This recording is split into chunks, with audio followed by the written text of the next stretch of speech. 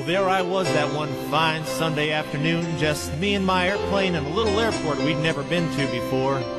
We were on short final and nothing was looking right. I was seeing red over red and white over white. And I couldn't seem to remember how that saying went anyway, but I was staring straight down at the runway, and all I could think of was I was setting myself up to ungraciously dismantle this perfectly good little airplane, and, and then off in the distance I heard a voice. And I think it was that of my flight instructor saying, can always go around. You can always go around if it don't look right coming down.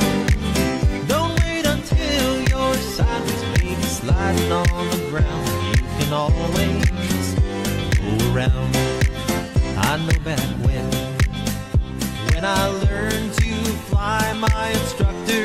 yelling in my ear. Power in, carb heat cold, climb out, pitch, flaps to go, take it round the patch one more time again.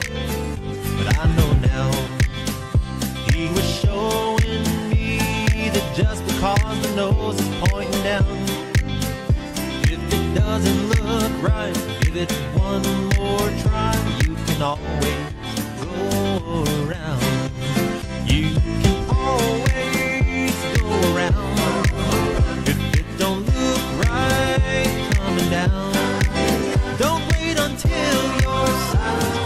Sliding upside down. You can always go around. You're coming in. You see you're high and fast, but your mind is set on somehow getting down.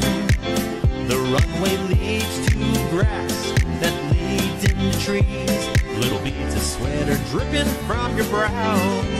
You still got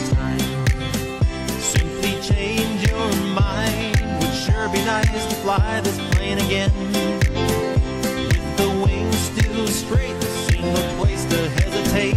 Pitch and power, gearing flaps. Hey, go around! You can always go around.